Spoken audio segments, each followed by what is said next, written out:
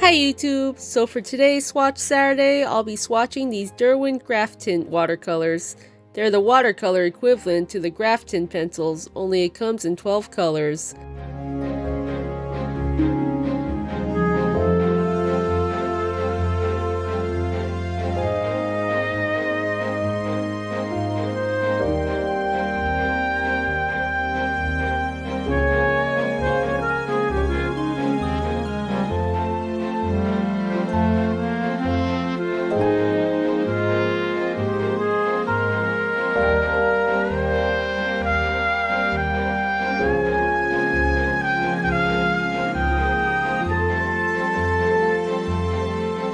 As the name suggests, the colors are water-soluble colored graphite and they have a toned finish.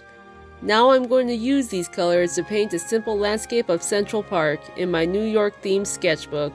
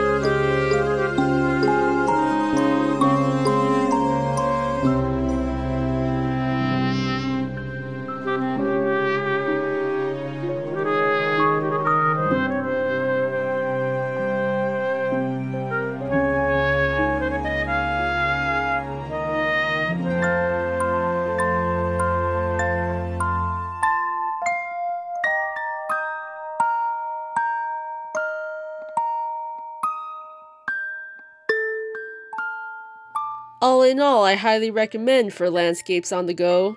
The only downside is I wish all 24 colors were included, but it is what it is. Thanks for watching.